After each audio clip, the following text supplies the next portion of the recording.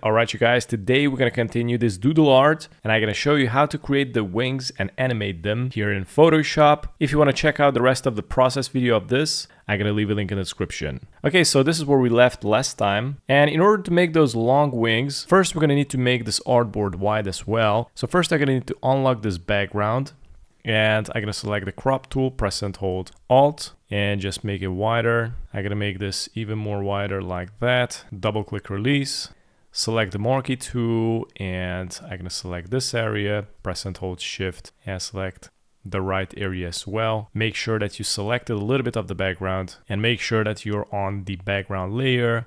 From here, let's go to the edit. Let's go to content aware fill and click OK. Press Ctrl D to deselect and here I'm gonna create a new layer, which is gonna be the stroke of the wings. Let's select the brush tool and I'm gonna create the wings on the right side. So it's gonna be something like this.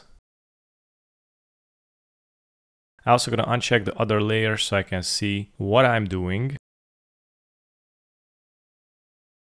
Okay, so this is gonna be the stroke. Now I'm gonna create a new layer and I'm gonna rename it as fill and drag the fill under the stroke. Click on the fill and I'm gonna go with a lighter color, not 100% wide, but somewhere like this. Click OK, increase the brush size, and I'm gonna start filling it.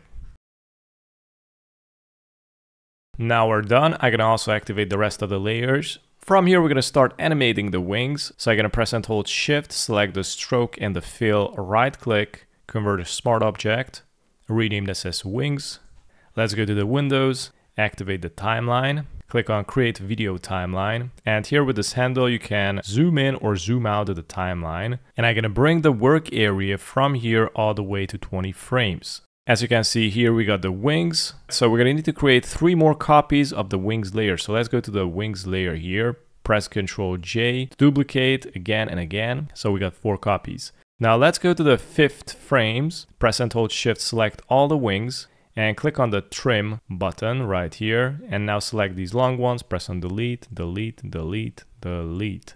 And we're gonna need to shift these out something like this. Actually we won't need the fourth one so I'm gonna press on delete. So the first wing is gonna stay like this. The second one I'm gonna select the second wing press ctrl T. And I'm gonna rotate something like this and bring it here. I'm gonna zoom out double click release. So as you can see if I bring this it starts animating it like that. And I'm gonna introduce a third one where the wing is gonna go all the way down like that.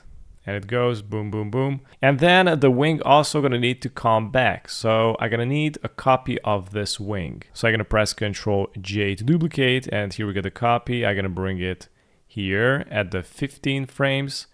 And let's go to the 20 frames. I'm gonna trim it or cut it and this is how it should look like.